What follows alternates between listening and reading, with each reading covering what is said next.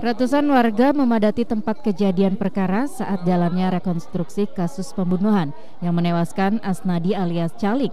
Aparat gabungan dari Polres Tangerang Selatan dan Polsek Ciputat sempat kewalahan mensterilkan TKP karena banyaknya warga yang ingin melihat jalannya proses rekonstruksi.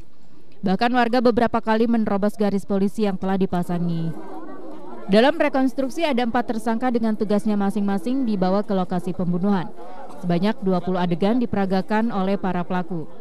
Kami hari ini di TKP, di dua TKP. Yang pertama adalah TKP di mana para pelaku ngobrol terlebih dahulu, berbincang dulu terlebih dahulu dengan para korban, eh, dengan dengan korban, mohon maaf, untuk kemudian dilakukan upaya pemukulan dan terakhir ditusuk oleh salah satu tersangka yaitu inisial B dan satu TKP lain di mana para tersangka ini kemudian mengumpulkan alat bukti untuk kemudian dibuang di sebuah kolam yang berada di belakang rumah salah satu tersangka juga atas nama C. Jadi total hari ini kami melakukan rekonstruksi uh, uh, 20 adegan, total semua 20 adegan.